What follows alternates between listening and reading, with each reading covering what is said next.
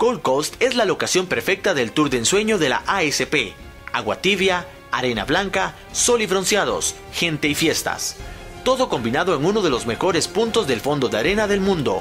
Estos elementos hacen del Quick Pro el evento más esperado del año, tanto por los fans como los competidores.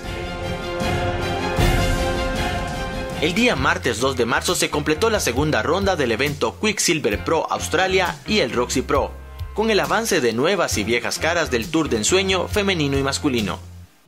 Chelsea Jets de Australia, antigua campeona mundial, nos cuenta a continuación sobre el Round 1 y su avance por el Round 2. Quería surfear Snapper Rock sin nadie allá afuera, tener todas las olas para mí. Bueno, tuve un hit muy duro en la primera ronda, con una mala selección de olas y ahí afuera es algo muy importante saber escoger. No fue muy decente mi presentación del primer round. Eso pasa cuando estás en el juego. El round 2 creo que fue mejor. Encontré buenas olas. Me olvidé del round pasado y ahora vamos para el round 3.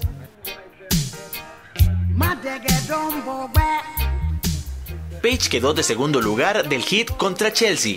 En el round 3 Rosen Hodge se enfrentará a Chelsea Hedge. Rossi nos comenta sobre su hit pasado y lo que espera del round 3. Me siento muy bien. Tuve un muy buen hit. Vi a Chelsea hoy y está surfeando muy bien. Entonces va a ser un match muy interesante. La peruana Sofía Mulanovic cayó ante la novata Lian Curran en el primer round.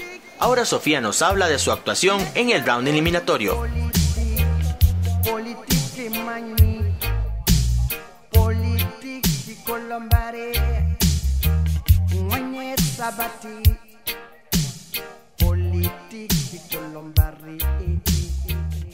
Los hits del round 2 son tan divertidos, estoy súper emocionada por haber pasado y estoy esperando el próximo hit. Al inicio estaba un poco insegura de mi equipo esta mañana, pero esta tabla está increíble. Y sí, estoy emocionada de haber salido.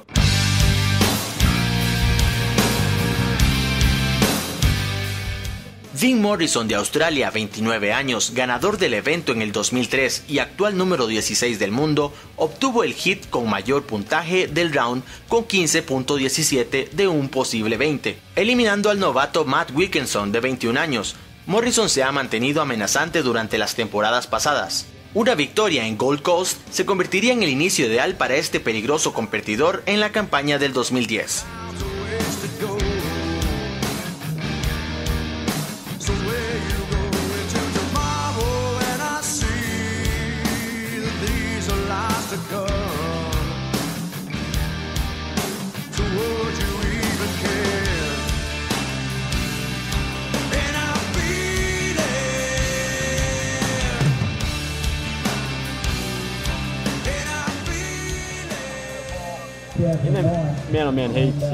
Los hits uno contra uno es como jugarse la vida. Es importante ubicarse bien en el agua. Al inicio no encontré el lugar adecuado, por lo que tuve que pelear el inside. Ha sido muy bueno ganar este hit, porque elimina un poco los nervios para el próximo.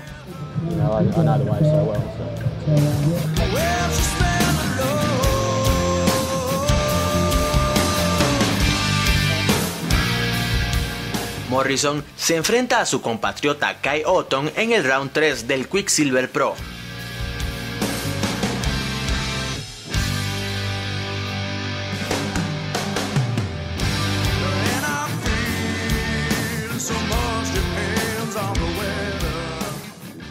Espera la próxima semana en Surfos TV los resultados finales de la primera competición del mejor circuito de surf del mundo.